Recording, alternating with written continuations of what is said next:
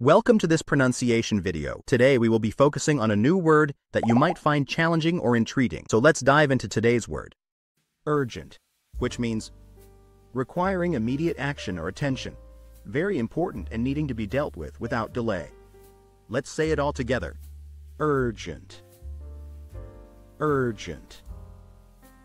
Urgent. One more time. Urgent. Urgent. Urgent.